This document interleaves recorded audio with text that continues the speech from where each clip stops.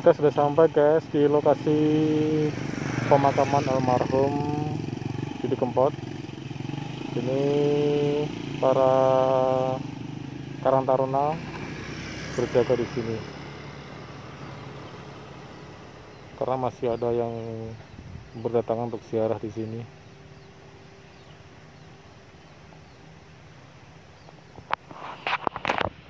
Coba kita review di sini. ini udah mulai ditebangi pohon-pohonnya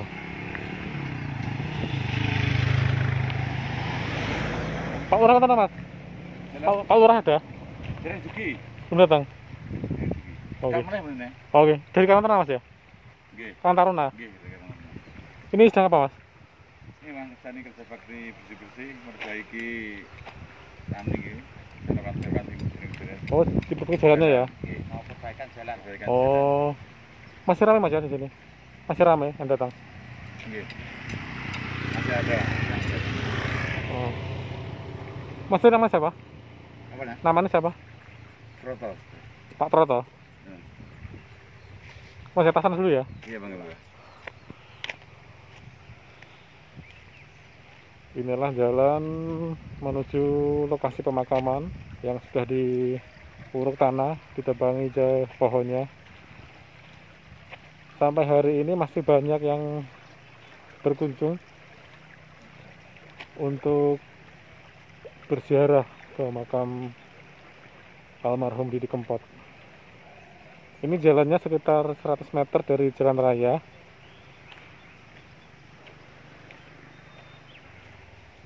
Subhanallah masih ada yang berkunjung ke sini untuk ziarah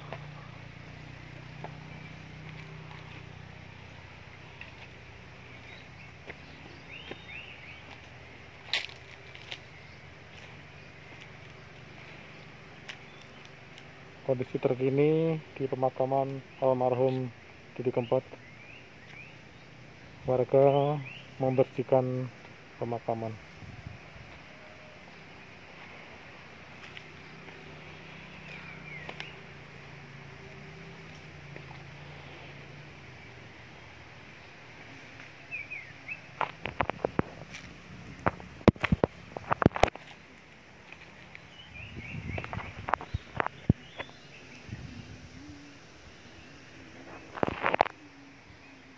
taburan bunga masih banyak bunga segar di sini. Karena tiap hari masih ada yang berkunjung untuk mendoakan beliau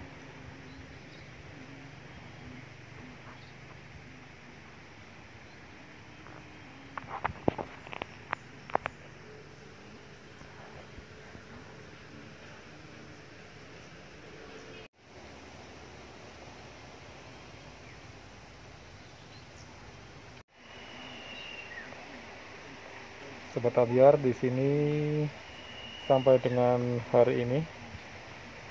Ini hari Sabtu 16 Mei 2020. Hingga hari ini masih ada yang berdatangan ke lokasi makamnya almarhum Didi Kempot.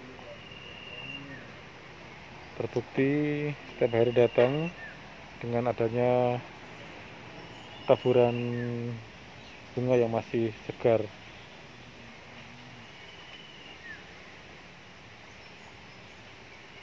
Datang silih berganti untuk mendoakan sang maestro campur sari.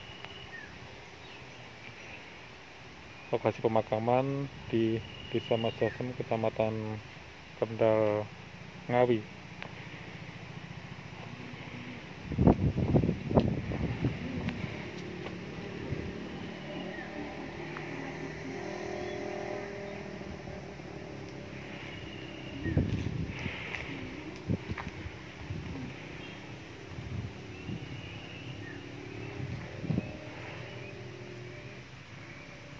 Ini tampak bunga segarnya masih beraroma ini ada yang pesiara mas dari mana mas Dari Karas. Kar saja ya Iya. Eh, baru sempat kali ini ya Pak? Iya baru ini. oh, oh.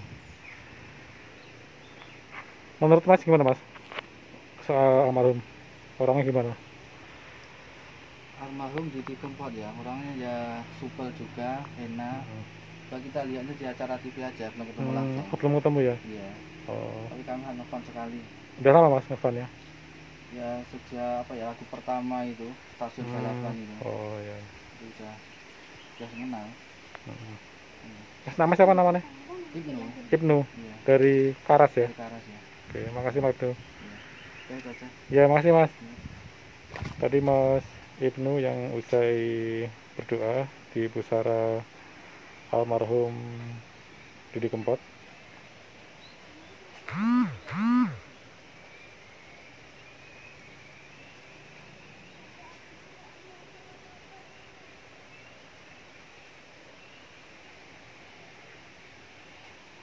Lokasi pemakaman tanpa